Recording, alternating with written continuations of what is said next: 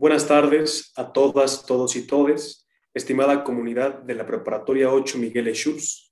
Es muy grato continuar con las actividades alusivas al 8 de marzo por el Día Internacional de la Mujer en este canal de YouTube, Género, Inclusión y Denuncia. Hoy tenemos el honor de contar con la maestra Amalia Muñoz González, académica del Colegio de Filosofía en este plantel. Daré lectura a la semblanza de la maestra Muñoz. Ella es egresada de la licenciatura en Filosofía de la UNAM, egresada también de la maestría en Ética de la Facultad de Filosofía y Letras, doctoranda en estudios de género por la Universidad de Buenos Aires. Las tesis desarrolladas en los diversos grados aspiran a desarrollar el amor, las virtudes y las relaciones igualitarias. Es autora de diversos libros de texto de lógica y ética con perspectiva de género, autora también de cuentos infantiles y de teatro guiñol con perspectiva de género. Ha sido becaria de Provetel, programa de becas para tesis de licenciatura, becaria también del CONACIT, becaria de la ENP para estudios en el extranjero, maestra de la Escuela Nacional Preparatoria desde hace 20 años 10 de ellos en el plantel 5 y 10 de ellos en el plantel 8. Además, ha dictado múltiples conferencias con perspectiva de género en distintos planteles educativos, incluyendo diversos estados del interior de la República. Es fundadora de la Asociación Civil Proequidad AC, que ha llevado el teatro guiñol con perspectiva de género al público infantil y juvenil, así como al público en general. Previo a ceder el micrófono a la maestra María Muñoz González, les invitamos a que durante la transmisión compartan en el chat sus dudas y comentarios para la posterior ronda de preguntas y respuestas. Sin más preámbulo, maestra Muñoz, le doy la bienvenida. Adelante. Gracias, maestro Raciel. Muchas gracias por la invitación.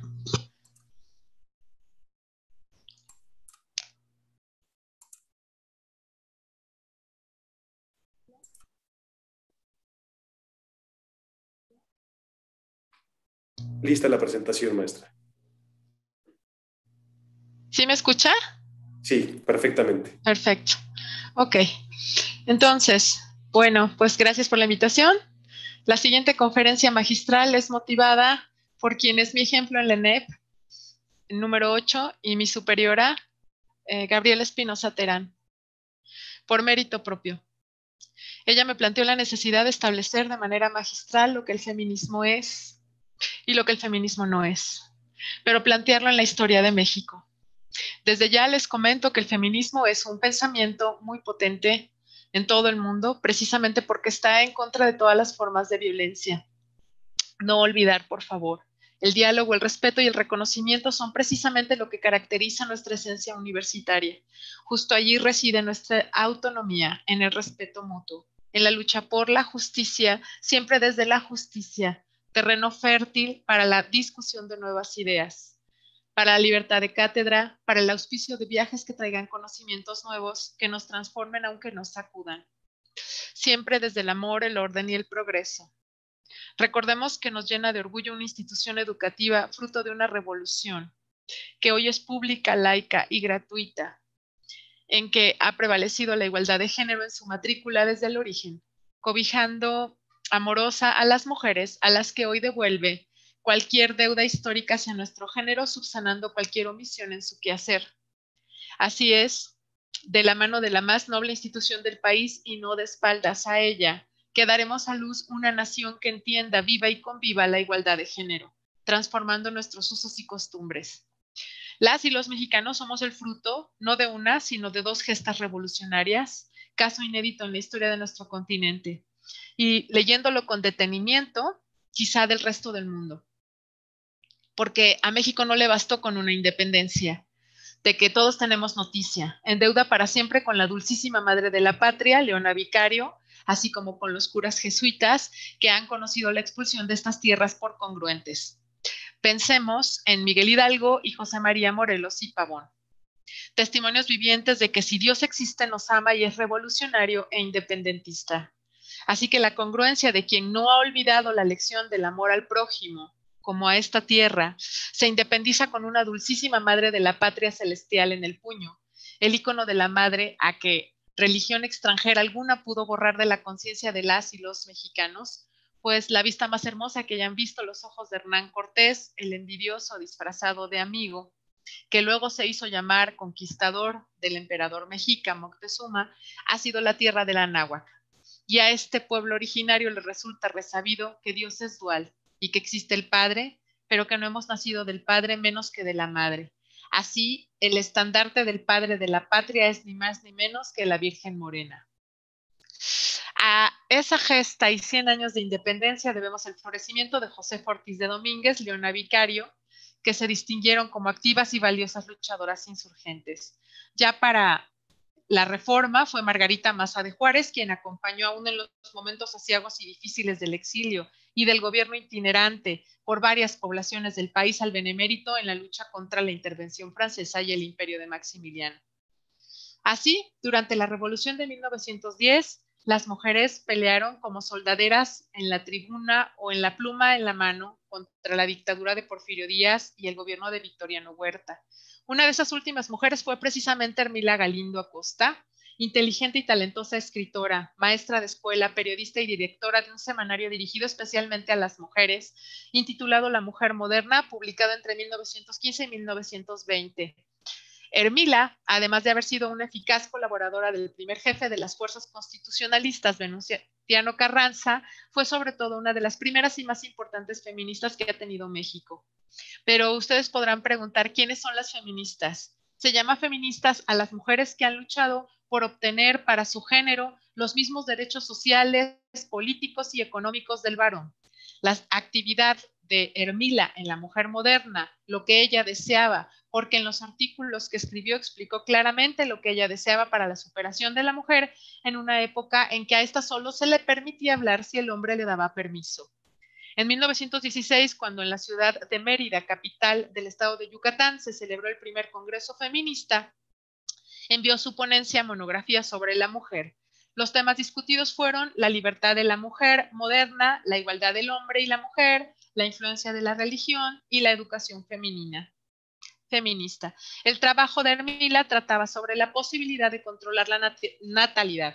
Para ello juzgaba indispensable conocer el funcionamiento del cuerpo humano, por lo que propuso se impartiera educación sexual desde la escuela secundaria en 1916. En La Habana, Cuba, pronunció seis conferencias en las que, además de divulgar la ideología de la Revolución Mexicana, aprovechó para plantear la necesidad de los pueblos, de que los pueblos latinoamericanos se unieran. Es de resaltar que el apoyo hacia Hermila como mujer por parte de hombres a cabalidad, como Victoriano Huerta, quien se apoyó en ella y reconoció su talento, potenciando su carrera y proyectándola hacia el extranjero, mientras que el primer gobernador Salvador Alvarado tuvo la inquietud de convocar el primer Congreso Feminista. Así decíamos que a la independencia en México le siguió una revolución. Las y los mexicanos debieron empuñar nuevamente las armas, ahora para reestructurar las instituciones que habían surgido tras la independencia. Se necesitaba salud, educación, vivienda, tierra y libertad. El Centauro del Norte y el Atila del Sur, Francisco Villa y Emiliano Zapata, respectivamente, volvieron a darnos en dos ejemplos de vigor del espíritu mexicano cuando de defender a la hermana de una violación o el derecho de pernada se refiere. Tal fue el caso por el que Doroteo Arango enfrenta al patrón y se convierte en un forajido revolucionario. De igual manera, la indignación de un caballo alimentado mejor que un humano logra que Emiliano Zapata rompa definitivamente con la sumisión impuesta a los pueblos originarios. Así, hombres y mujeres por igual, Juana Gallo, Adelita, inmortalizadas en los corridos, centauros y atilas, no sin pagar con su sangre, triunfan una vez más. Y así las y los mexicanos conquistan el derecho a vivir en una patria donde quepa el amor, el orden y el progreso. Pues entre una independencia y una revolución, el pueblo de México ha debido además enfrentar intervenciones extranjeras sin que todo ello desdibuje por un instante la importancia de la educación hacia el pueblo que ha sabido concebirla como un derecho.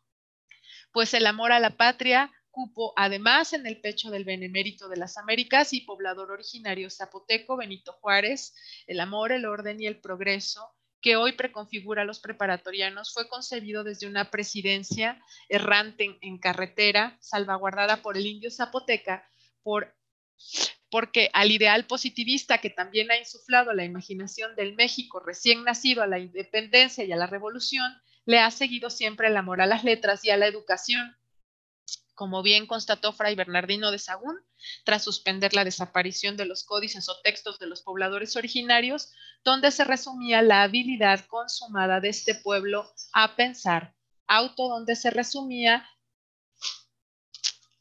autogobernarse, pensarse a sí mismos, obviamente filosofar al grado de entender que las diferencias no habían de dirimirse en tiempo de siembra y que las guerras podrían ser floridas y que los guerreros eran poetas y que cantaban a la vida, al amor, a la mujer, al amigo y a la finitud, con dulzura capaz de enternecer al mismísimo Homero. El respeto de los pobladores originarios a toda forma de vida, incluso a la del oponente, se extendía hacia la humanidad, que no puede ser llamada tal si no concibe con claridad que los supuestos dos géneros no son más que el pretexto de besar y abrazar al sexo opuesto para reproducir la vida, y que de opuesto no tiene nada, porque si fuera opuesto no lo daría, no daría como fruto lo mismo. Un hijo es a partes iguales ADN del padre y de la madre, y que no se puede decir que la vida llega al mundo con la ausencia de alguno de ellos. Los hombres y las mujeres nos necesitamos por igual. Así, cualquier forma de pensamiento donde ambos sexos no sean vistos como una dualidad igualmente divina ha sido motivo de sospecha incluso en tiempos de colonia. Tal ocurre con Sor Juana Inés de la Cruz. Su historia no hace sino testimoniar el indignante sitio en que se pretende desde la incongruencia de una religión que en plena expansión colonial es incapaz de religarse con Dios, por violentar la libertad de aprender, al sembrar la confusión mediante la violencia y hacerla plausible o ética mediante falacias, y así justificar lo injustificable. Pretender que las mujeres y sus frutos carecen de razón, es decir, que la madre carece de razón.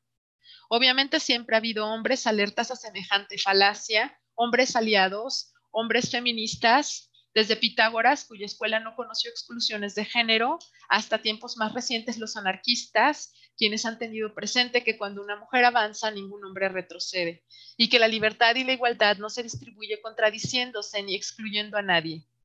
Cabe señalar que no todas las personas que, que creen en la igualdad entre los sexos decidan llamarse feministas, porque como podemos ver aquí, este término puede generar dos falacias.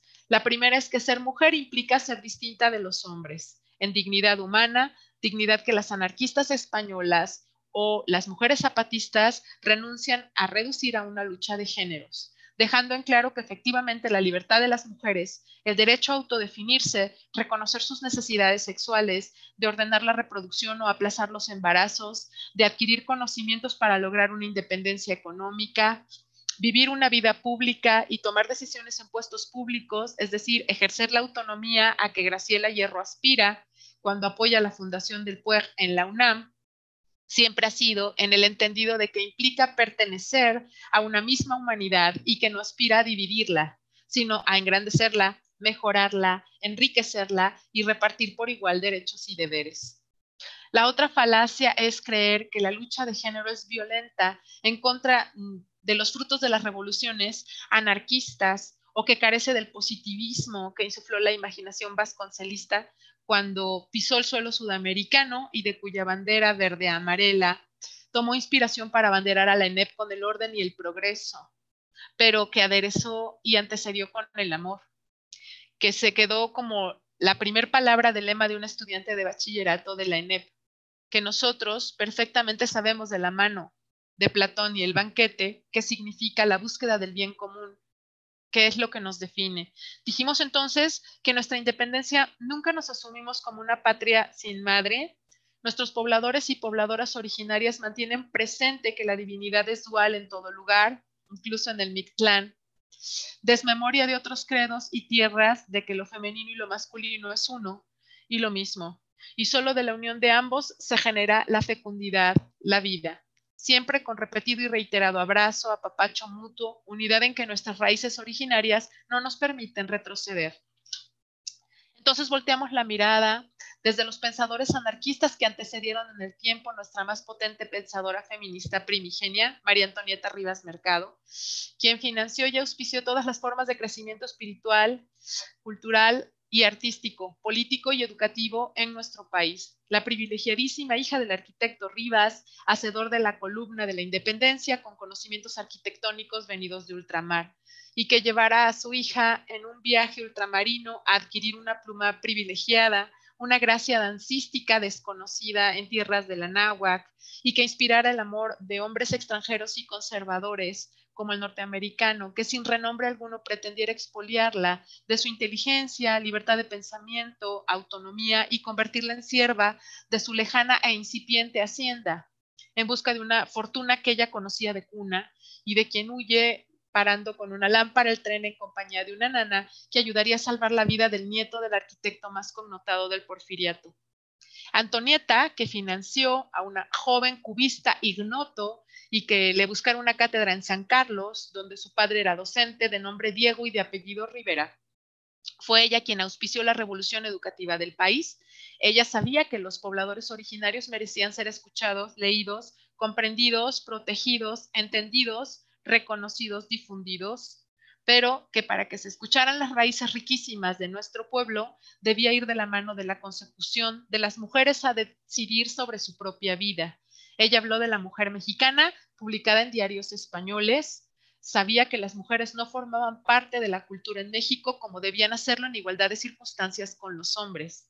Y le tocó vivirlo en carne propia, pues el heredero de la más importante feminista mexicana de la revolución eh, no creció en las tierras mexicanas. El Estado mexicano y sus leyes arrancaron de los brazos de su madre a su hijo tras un divorcio. Eso la hizo huir nuevamente de la mano de su pequeño, solicitar apoyo al admirado querido, protegido, financiado en su campaña presidencial y paseado en Cadillac azul, envidioso disfrazado de amigo, o peor aún, de amante, José Vasconcelos.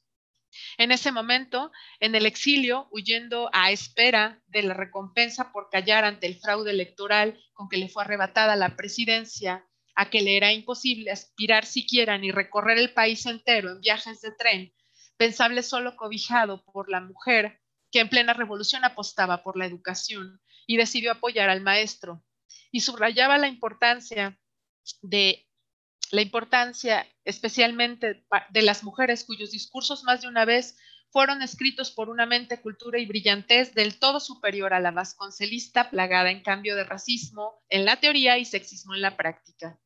El clientelismo del maestro, por la aceptación del fraude, obtuvo como pago una jugosa Secretaría de Educación Pública dejando en el olvido en pleno París a María Antonieta y señalando que era un ángel que ponía condiciones, recordando repentinamente su matrimonio, abandonada por una revolución que le robó un cuarto lleno de bienes, desairada por los artistas que encumbró, em, desconocida por el otrora fogoso amante, interesado enemigo, parásito de su talento invisibilizado, empuña su misma arma en Notre Dame quien también la desconoce y señala que ahí jamás se suicidó la más importante feminista mexicana después de Sor Juana Inés de la Cruz.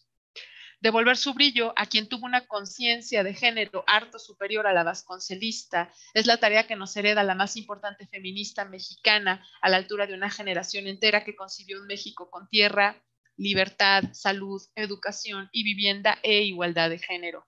Pero forcluida por un demonio de absoluta desmemoria e ingratitud, grave y horroroso antecedente de la misoginia y racismo que aún trasversa nuestra mutilada formación del feminismo, equívocamente honrado al nombrar al más grande plantel universitario preparatoriano José Vasconcelos, que desde aquí derribamos, para llamar al plantel número 5 María Antonieta Rivas Mercado, y así corregir este error histórico para poner a quien debe todo renombre y ni siquiera pobremente se le retribuyó.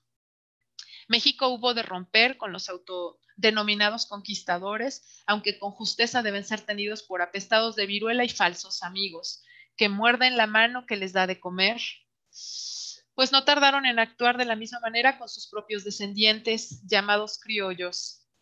Su propia sangre nacida en América era sujeto de desconfianza de la corona, seres humanos de segunda.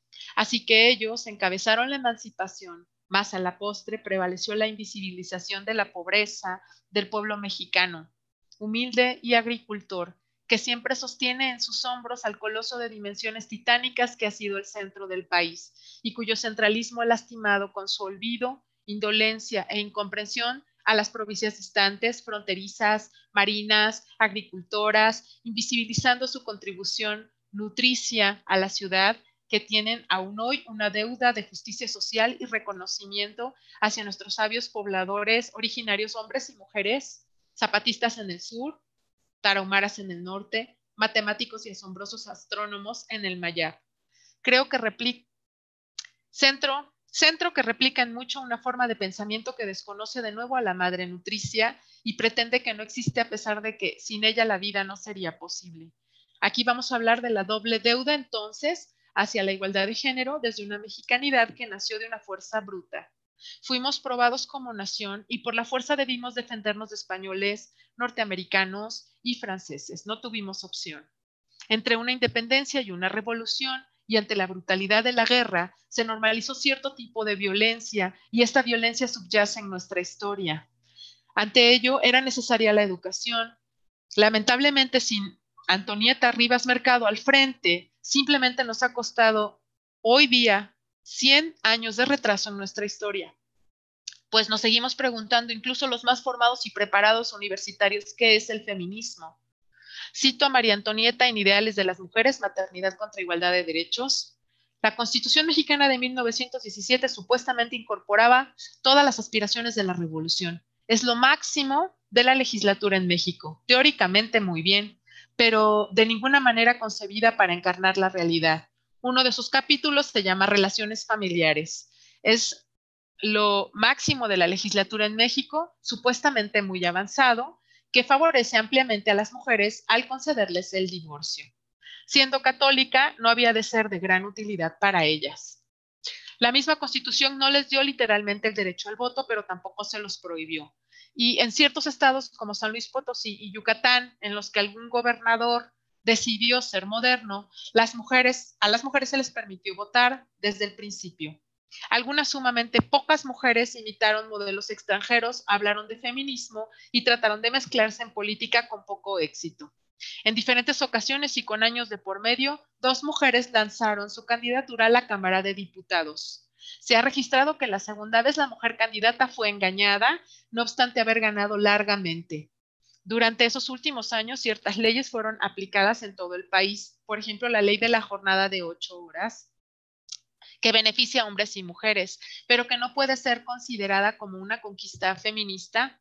Todo esto no es más que para probar la gran sabiduría del antiguo refrán, al país que fueres, haz lo que vieres. Lo que aplicado a las mujeres mexicanas significa que desde el punto de vista del feminismo, entendido por ello en la intervención directa en la vida política del país, no les llamaría para que la lucha con toda su fuerza y su poder por sus hombres el feminismo resultaría entonces para las mujeres mexicanas una palabra ridícula y vacía. He aquí la respuesta a la definición del feminismo solicitada por la maestra Gabriela, su directora de nuestro plantel, y con la cual resuelvo su planteamiento sobre qué no es el feminismo tal como ha quedado claro más arriba y qué sí es. Como María Antonieta nos subraya aquí, el feminismo es la intervención directa en la vida política del país. Entender de qué vena se ha nutrido el feminismo de María Antonieta precisa correr un poco nuestras fronteras para comprender que hubo revoluciones anteriores a la nuestra y que fueron ejemplares para nosotros. El espíritu revolucionario de enfrentar a una élite cínica, corrupta, de oportunistas sin ética, que engrosan la burocracia de cualquier sociedad, sin equidad social es compartida por los pueblos ruso y cubano. Hablar de la URSS es hablar de una unión territorial de magnitudes colosales.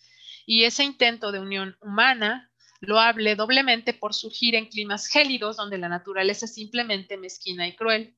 Sin embargo, no impidió que los humanos dejaran de serlo y se miraran y reconocieran su mutua dignidad. Y como Corea, el corrido mexicano revolucionario, yo soy rielera y tengo a mi Juan, él es mi vida yo soy su querer. Cuando me anuncian que ya se va el tren, adiós mi rielera, ya se va tu Juan.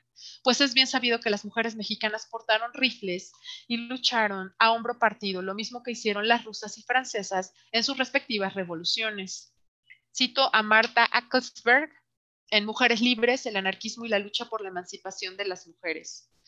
Algunos autores y militantes anarquistas del siglo XIX, tanto en España como en otros lugares de Europa y Estados Unidos, abordaron específicamente la subordinación de las mujeres en sus sociedades e insistieron en que la emancipación humana plena requería no solo de la abolición del capitalismo y de las instituciones políticas autoritarias, sino también la superación de la subordinación cultural y económica de las mujeres, tanto dentro como fuera del lugar.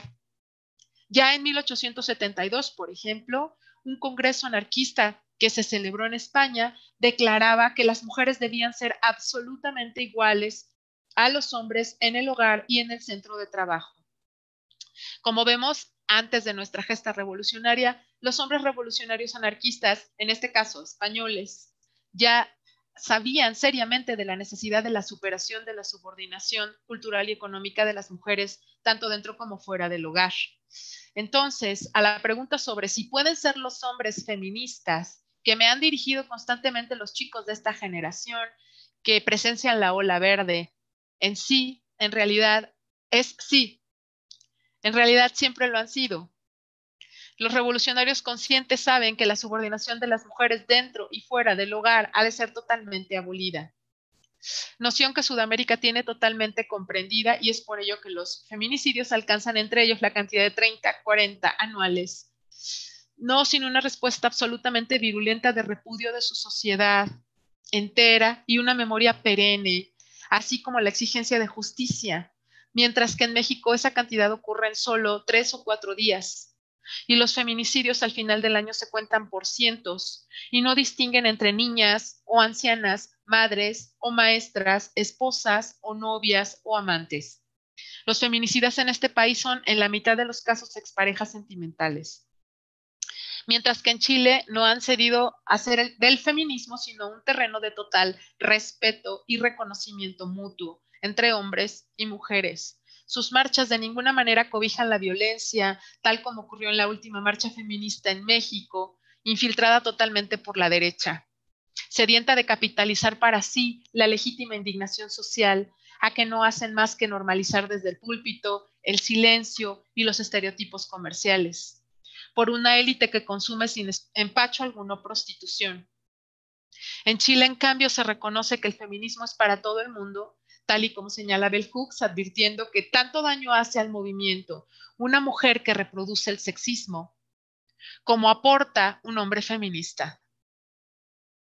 Atendiendo al orden cronológico antedicho, a la más potente pensadora feminista pionera en nuestro país por derecho propio, a la mecenas de la educación, arte y carreras políticas María Antonieta Rivas Mercado, se encuentra en este mismo momento cronológico en plena Revolución Mexicana, compartiendo el escenario con Dolores Jiménez y Muro, periodista intelectual zapatista que aún sin tener relación alguna representan hondamente el sentir de las pioneras feministas del siglo XX.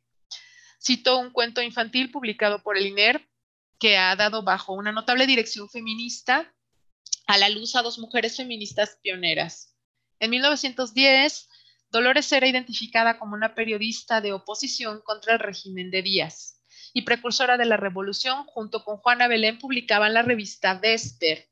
Fue redactora principal del Plan Político y Social de Tacubaya, mediante el cual se le pedía la renuncia de Porfirio Díaz, el cumplimiento de la Constitución de 1857 y se hacían nuevas demandas que no incluyó el Plan de Madero. La restitución de tierras para los campesinos, la no discriminación de los indígenas, la mejora de la educación y el pago de salarios igualitarios para hombres y mujeres. En general, Emiliano Zapata la invitó a incorporarse a las filas del zapatismo. Tiempo después la nombró con el grado de general brigadier y le pidió que escribiera el proemio La publicación del Plan de Ayala. En los duros años de la guerrilla zapatista, Dolores huía por las montañas y se escondía en las cuevas. Lola siguió escribiendo y publicando en la Ciudad de México, colaborando en la educación rural, viviendo en condiciones de pobreza. En 1925, cuando apenas se iban, habían establecido las nuevas instituciones de los gobiernos revolucionarios, falleció esta gran mujer. Tenía 77 años y era una de las intelectuales revolucionarias más íntegras y avanzadas de su tiempo. Fruto de las luchas revolucionarias victoriosas de nuestro país fue la conformación de las instituciones que velarán por los derechos de las y los mexicanos, la UNAM, da muestra de una de esas instituciones que aspiran a configurar una patria. Dentro de las primeras generaciones formadas en la universidad, en el bachillerato, se encuentra la artista mexicana internacionalmente reconocida pintora Frida Kahlo. Frida dio un examen muy difícil para entrar a la preparatoria en la mejor escuela de México. En ese tiempo para las mujeres era casi imposible estudiar porque se priorizaba el estudio de los varones. Sin embargo, ella fue una de las 35 chicas que iban a la clase entre 2.000 chicos. Es Frida. En algunas fotos de aquella época se vestía de traje y simulaba ser un varón cuando el padre la retaba junto a sus hermanas. Frida rebelde desafiaba a su madre que la retaba por sus atrevimientos. En una escuela reconoció a Alejandro y se enamoró una tarde, subieron al autobús, iba rapidísimo y chocó muy fuerte. Frida tuvo heridas graves, pero para sorpresa de los médicos sobrevivió. Entonces tenía que quedarse quieta para que sus huesos volvieran a estar fuertes. Después de muchos meses en cama, Frida se recuperó. Había pintado ya varios cuadros y quería que alguien le diera una opinión sobre su obra. Así fue a ver a Diego Rivera, un artista reconocido que estaba haciendo un mural en una escuela. Diego se enamoró de sus cuadros y también de la pintora. En París, Frida hizo una exposición de sus cuadros. André Breton, fundador del surrealismo, se convirtió en admirador de su obra, que le parecía muy representante de esa corriente, pero ella no creía que su arte fuera surrealista, no pintaba lo que estaba en su cabeza, sino lo que le sucedía todos los días y lo que vivía en su país. Diego caracterizó el arte de Frida como de una franqueza absoluta, descarnada y feroz sobre el mundo femenino. Era un verano en México, pero Frida temblaba. Hacía varios meses que estaba otra vez en cama. Sufría de una infección seria de los pulmones y tenía que tomar muchos medicamentos para calmar sus dolores. Era un gran riesgo que saliera a la calle en esas condiciones, pero ahí estaba otra vez, en un movimiento, marchando por las calles para estar presente cuando las trabajadoras y los trabajadores pedían mejores sueldos. Así Frida, la preparatoriana de la UNAM, cuyos libros de cabecera eran todos pensadores rusos, mantuvo una amistad que llegó al romance con su vecino León Trotsky, quien vino a México huyendo de la revolución que se batía en tierra rusa. Otra de las mujeres que por mérito propio puede ser considerada feminista, no solo porque así se haya concebido a sí misma, sino por su incidencia en la vida pública de su comunidad postrevolucionaria, fue Rosario Castellanos, escritora muy connotada, que hace en su obra un espacio donde las mujeres seguimos encontrando una crítica clara y vigente a la vida estereotípica femenina, que permite entender sus avatares y finalmente encauzarlas a contrapelo de usos y costumbres.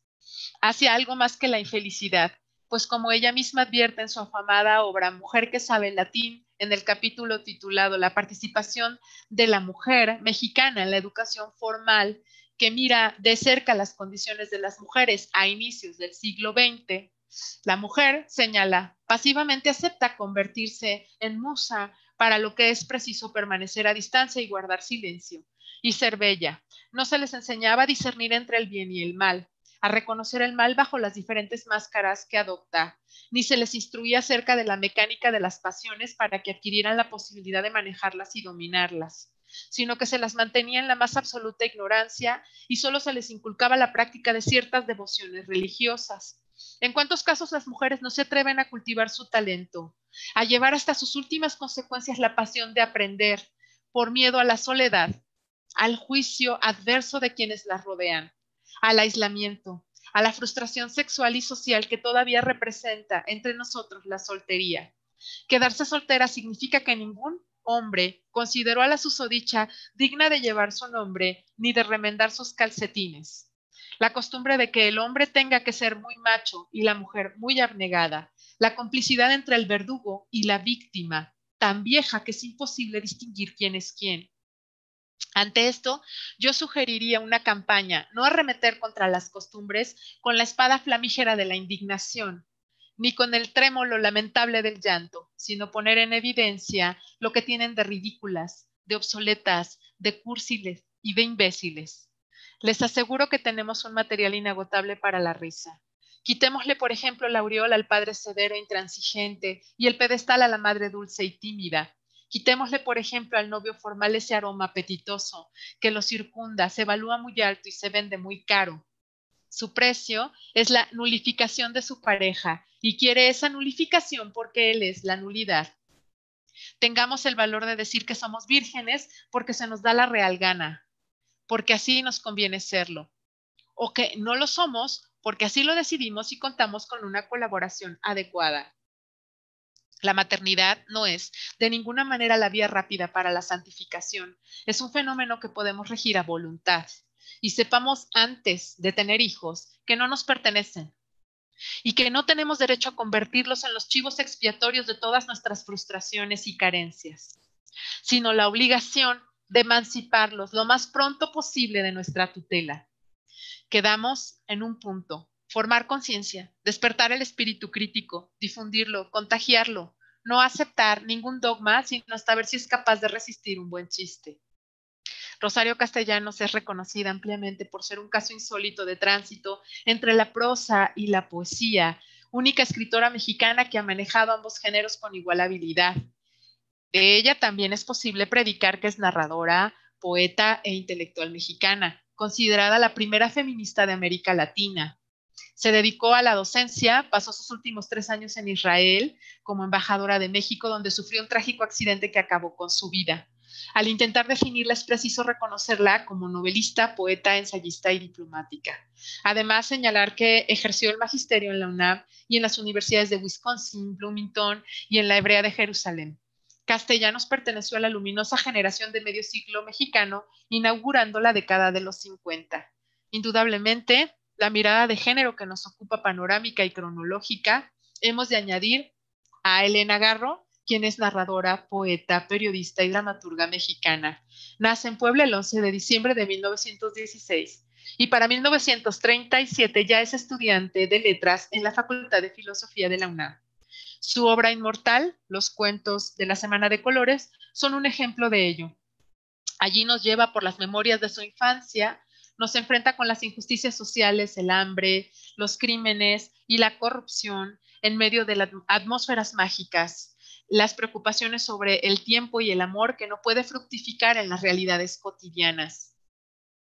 Después de los sucesos del 2 de octubre de 1968, Elena Garro fue acusada injustamente de encabezar un complot comunista para derrocar al gobierno. Vivió en el exilio dos décadas y volvió cinco años para morir en la tierra que la vio nacer, no sin antes heredarnos una obra cuya importancia de los personajes indígenas, de las mujeres, los niños, los animales y personajes extraordinarios en la narrativa y el teatro de Garro no es casual, pues mujeres, indígenas y niños tienen una visión distinta del tiempo y de lo posible, desde su posición, si no subordinada, marginal o excéntrica, expresan, representan, dan vida a manifestaciones alternativas de la imaginación, de la memoria y del deseo.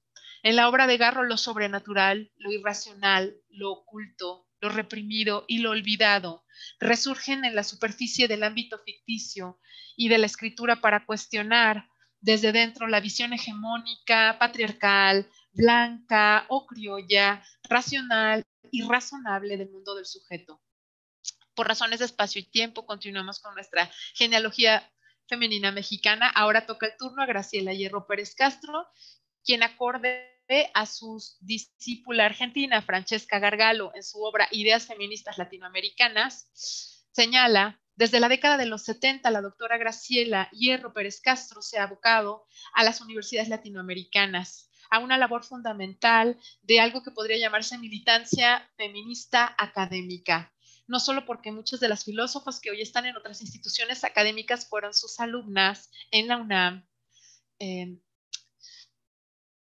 En la década de los 80, cuando esta universidad fue un centro de irradiación de cultura latinoamericana, sino porque ella misma ha desafiado los temas de los convenios internacionales para insertarse y contactarse con filósofas de países anfitriones, conversaciones, debates, cursos dictados por hierro en los céspedes de muchas universidades han permitido que alumnas y maestras se otorgaran a sí mismas el permiso para expresar en clase sus reflexiones acerca de sus acciones en las calles o en los colectivos de mujeres. Gabriela Hierro es una mujer excepcional a la que la comunidad de la ENEP número 8 Miguel Schulz tuvimos el privilegio de gozar como comunidad académica. Ella fue fundadora del plantel para después continuar con su ejercicio académico en la Facultad de Filosofía y Letras. Y finalmente concluir su ejercicio académico como investigadora y fundadora del PUEG, Programa Universitario de Estudios de Género, hoy denominado CIEG, Centro de Investigaciones en Estudios de Género, que dirigió hasta su muerte. No es infrecuente que sus alumnos hoy ilustres y adultos mayores incluso le organicen homenajes donde rememoran su belleza física, lo mismo que su elegancia, su afabilidad para abrir las puertas de su casa y de su cava, pero también y sobre todo para señalar a las mujeres la importancia de tomar la voz en el salón de clases y para reconocer el derecho de las mujeres al placer. Es decir, sus alumnos son adultos mayores feministas en toda la extensión de la palabra. Nos hablan de la maestra feminista, nos señalan a las maestras jóvenes y filósofas la importancia de conocer a la filósofa del placer y retomar esa inquietud con sus alumnos hombres, los que nos piden a las filósofas continuar el camino obsequiándonos sus obras, algunas muy difíciles de conseguir. En una de sus obras trascendentales que lleva por título Ética del Placer, señala que se acepta moralmente que los hombres ejerciten su sexualidad para obtener placer, pero no que lo hagan las mujeres. El poder patriarcal reglamenta el placer femenino de acuerdo con los intereses hegemónicos que son siempre masculinos. Lo natural para el hombre es gozar de su sexualidad. Lo natural para la mujer es procrear. La condición necesaria para que las mujeres alcancemos la categoría de personas es liberarnos y tomar en nuestras manos el control de nuestro placer. También señala que la doble moral sexual se produce porque no existe igualdad política y social para los géneros. Más añade que en la medida en que las mujeres hemos adquirido conciencia de género y hemos luchado por lograr la igualdad ética y política, la doble moral burguesa ha empezado a ser superada. Así nos exhorta a que el deber se, se centra en alcanzar el placer, el placer es sobrevivencia, vitalidad, autenticidad, risa, alegría, sociabilidad, erotismo y amor. En suma, todo lo que constituye el buen vivir. Y añade, si analizamos la conducta sexual, veremos que la sexualidad, el erotismo y el amor no son sinónimos. Entrañan experiencias distintas y cumplen funciones diversas. El erotismo es la dirección rumbo al sentido estético de tales sensaciones. Está íntimamente unido al placer y requiere de la seducción y el misterio, que en modo alguno desconoce el autoamor, que a su vez guía las decisiones éticas con el ejercicio de la prudencia, la solidaridad, la justicia y la equidad. Como podemos apreciar, el pensamiento feminista en México inicia con Sor Juana Inés de la Cruz, transita por las gestas independentista y revolucionaria, reforma o con una revolución institucionalizada en instituciones educativas. A lo largo de la historia, las pensadoras mexicanas han sido capaces de identificar una exclusión de género que las ha relegado del derecho de autonormarse y que las hubo privado también largamente de autonomía y han dado una bravía batalla junto a grandes hombres, de entre los cuales los ha habido muy avanzados y capaces de entender que la igualdad no se distribuye por géneros. En suma, la constante que pensadoras y pensadores con mirada de género reivindican como inexorable para el género femenino es el derecho de las mujeres de tener conciencia. Esta conciencia puede ser sobre diversos estadios de injusticias que el pueblo mexicano ha atravesado a lo largo de su historia, una que aún se está escribiendo y de la que el STLN forma parte, es el neozapatismo, del que ha sido protagonistas como comandantas, inclusive, tal es el caso de Ramona, poniéndonos nuevamente ante la configuración de una feminidad desde la inclusión y reconocimiento de sus derechos humanos a cabalidad, que obviamente pasan por las garantías individuales de la construcción política de nuestra sociedad que reconocen la felicidad como un derecho de esta manera podemos establecer una genealogía feminista que surge con Sor Juana Inés de la Cruz, se retoma en la gesta independentista con Leona Vicario y José Ortiz de Domínguez, se replica en la Revolución con Hermila Galindo y María Antonieta Rivas Mercado, a quienes también acompaña la artista y preparatoriana socialista disruptiva Frida Kahlo, a quienes heredan las universitarias Rosario Castellanos y Graciela Hierro. Seguramente estoy omitiendo importantes mujeres que han contribuido a una sociedad más igualitaria en materia de género y que han dado su propia vida para lograr que la justicia social llegue a nuestra realidad. Sin embargo, admito que he tratado simplemente de mencionar una rápida revisión de nuestras pensadoras y luchadoras con renombre, en medio de una sociedad adversa a esos talentos y por tanto su mérito es aún mayor. Admito pues que esta lista no está completa, nos faltan muchas más mujeres por aquí de visibilizar, pero sí deseo señalar que a esta lista hace falta sumar los caballeros. Afortunadamente en la comunidad universitaria florecen los hombres que se autodenominan feministas, o no, pero no dudan en apoyar el estudio de las masculinidades y de visibilizar a los pensadores que han trabajado del lado de las mujeres y su reconocimiento, incluso si esto les cuesta la carrera. Tal es el caso del profesor Daniel Casés Menache, quien tradujo todos los tomos del filósofo feminista que en plena ilustración fue forcluido o invisibilizado, François Poulain de Lavare. Señaló que las mujeres merecían la igualdad jurídica y social, mas la ilustración no estaba lista para reconocer a un ilustrado egresado de la Sorbona. Y en su sitio... María Muñoz, tres minutos para el cierre, por favor. Perfecto. Y en su sitio... Perfecto. Y en su sitio, un vagabundo con ensayos exitosos pero misógino, Juan Jacobo Rousseau, ocupó el sitio del feminismo egresado de la Sorbona, de la carrera de filosofía. Así, la igualdad hubo de esperar cientos de años más.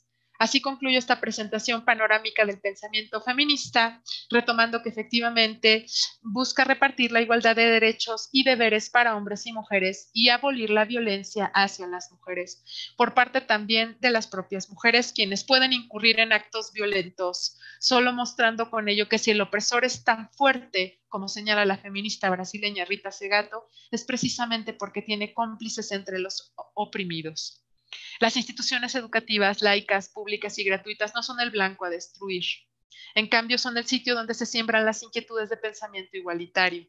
Son incluso la resulta de muchas peticiones de igualdad para las que las mujeres accedan a un salario, al conocimiento de su cuerpo, a la no segregación cultural que las dejaba en casa. Efectivamente, nuestra sociedad se está transformando. Lo mismo ocurre con la UNAM en constante revisión y modificación acorde con su propia autonomía cómo fundar un comité de ética. Más aún, la ética es vertical y transversal. Todas y todos los universitarios debemos mostrar nuestro compromiso ético siendo capaces de respetar nuestra autonomía, las decisiones de nuestra comunidad para perfeccionarla tanto como nos sea posible y asumir que los propios alumnos también tienen retos y actitudes que vale la pena revisar. Pues aquí señalamos que los héroes y heroínas que dan su vida por una causa no necesitan esconder su rostro, cuando la causa es justa, es un honor abanderarla. No es necesario esconder la cara ante una comunidad autónoma, a menos que haya actos reprobables de los cuales se desea salir impune, lo cual no es tolerable cuando lo que se daña es el patrimonio de la nación. No olvidar entonces que el feminismo como expresión cultural está en contra de todas las desigualdades y no se caracteriza por la sinrazón o falta de diálogo, ni por la intolerancia que desemboca en violencia. Muchas gracias, maestro Raciel. Muchas gracias por su atención a todos.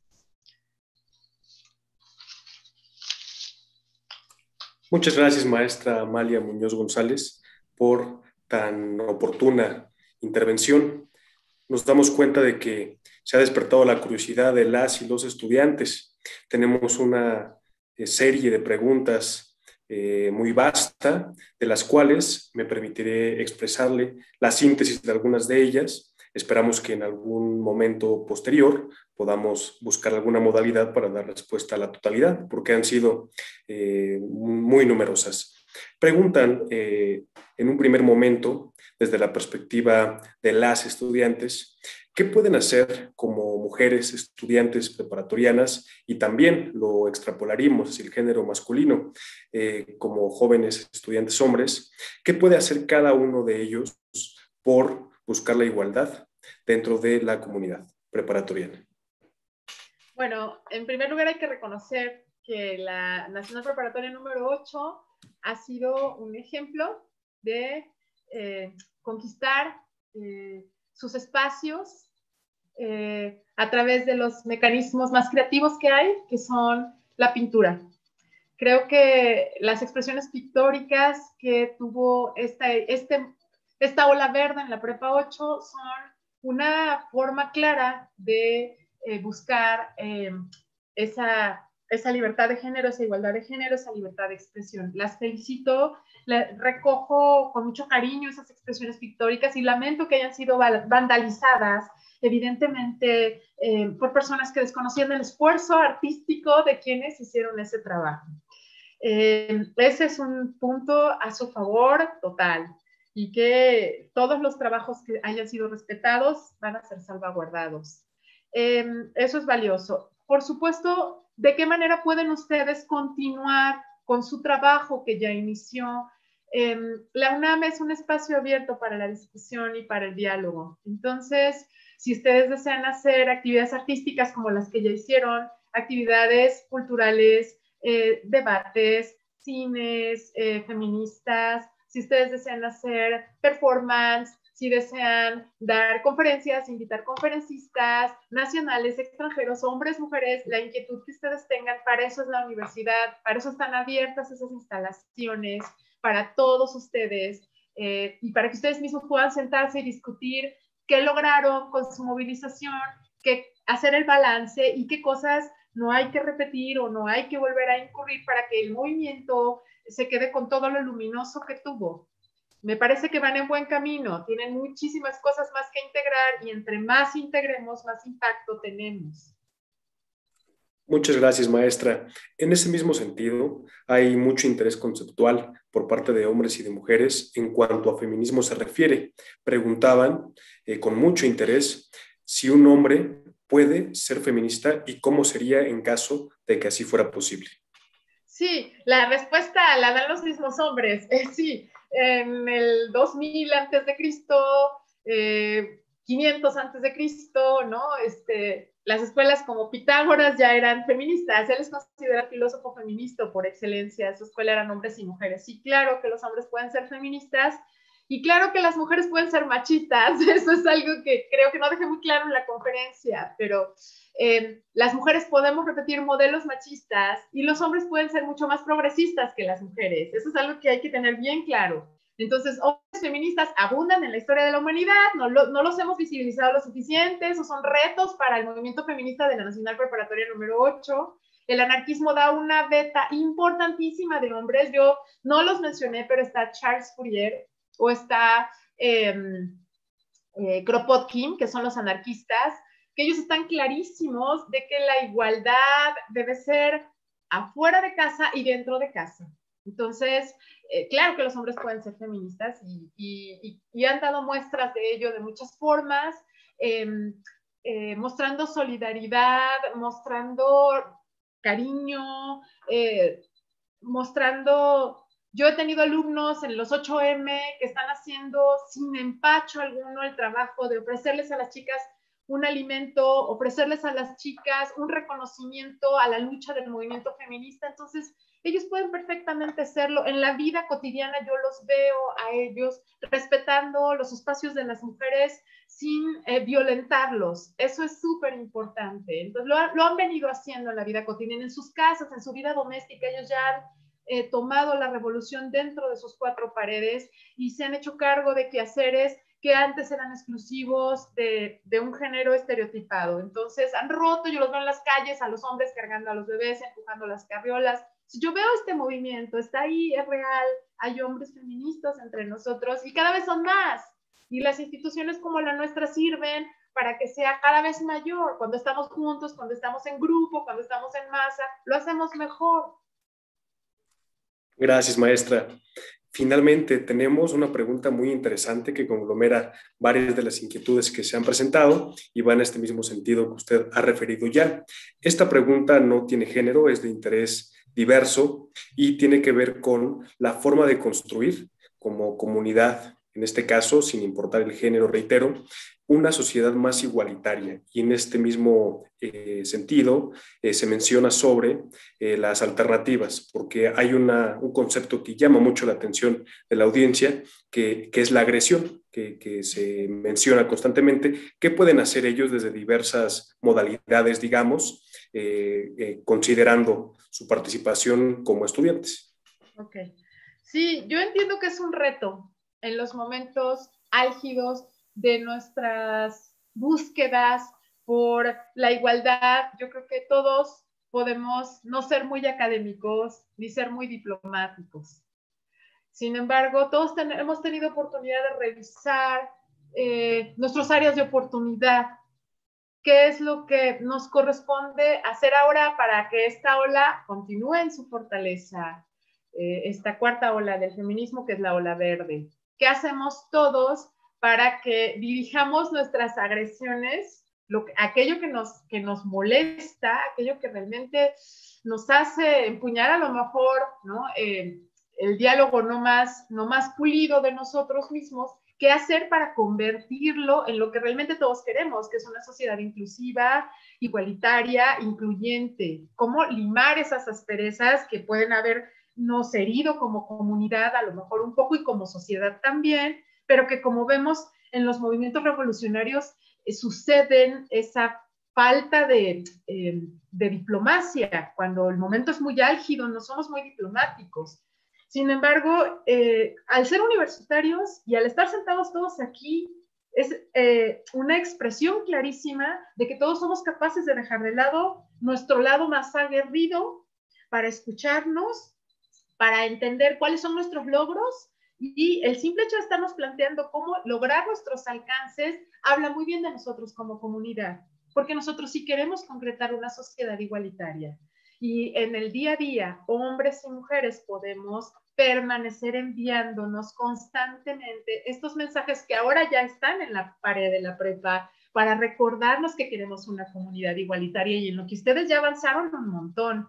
Ahora tenemos que abrirnos las puertas todos y todas a fortalecer estas áreas de oportunidad, porque yo veo que muchos profesores están ya trabajando con la temática de género, ya son muchas las voces que se están uniendo a esta inquietud, porque todos queremos una sociedad mejor.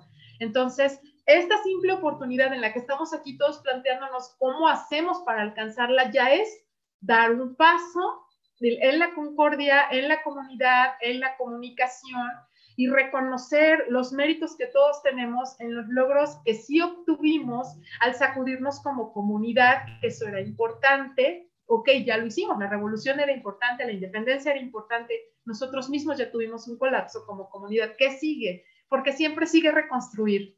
Entonces, ahora hay que visibilizar a las figuras masculinas, que hay un montón de hombres feministas, no me crean, búsquenlo, que para eso están las redes. Ahora vamos a visibilizar a los chicos y vamos a no a decir lo que, cómo no, lo que no debe ser, vamos a decir cómo sí, cómo sí debe ser. Y eso es lo que nos va a ayudar a limar nuestras diferencias, cualesquiera que estas hayan sido y que en su momento fueron válidas, porque respondían a un momento de indignación que nos llevó a destapar y para poder limpiar, antes hay que desordenar, entonces tuvimos que desordenar y luego acomodar, que es en lo que estamos ahora buscando el orden y el progreso, retomemos el amor. No lo perdamos, por favor. Maestra, este gran interés e ímpetu de las y los estudiantes se ha visto vigente el día de hoy en esta actividad y en nombre del arquitecto Ángel Buitrón Bernal, director del plantel 8, le agradecemos su participación en esta conferencia magistral que damos por concluida, cuyo título fue El feminismo en México como parte del Día Internacional de la Mujer en Prepa 8. Los invitamos a que nos acompañen a la siguiente actividad, que es el conversatorio Personas Orientadoras Comunitarias del plantel 8 a las 16.30 horas el día de hoy por este mismo canal de YouTube, al cual les sugerimos suscribirse y activar las notificaciones. De esta manera estarán al tanto de las diversas propuestas de la Preparatoria 8. Gracias a todas, todos y todes. Muy buenas tardes. Gracias, maestro. Gracias. Gracias a todos. Gracias a todos. Chao. Ay, hermana. Wow.